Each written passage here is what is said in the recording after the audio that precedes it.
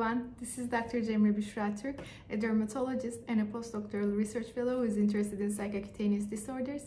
I hope you'll join me in this lecture. I will be covering two different topics. The first part is going to be about chronic spontaneous urticaria and its possible relationship with childhood traumas and maladaptive attachment styles. We will be discovering the potential effects of adverse childhood events on our neuroimmunobiology and the chronic spontaneous urticaria pathophysiology.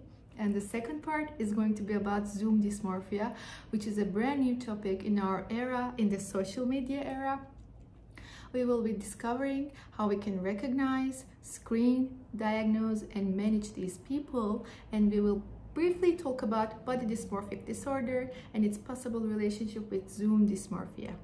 So please join me in this lecture. I am looking forward to hearing your comments, feedbacks, questions, and overall meeting with you. Thank you. Bye.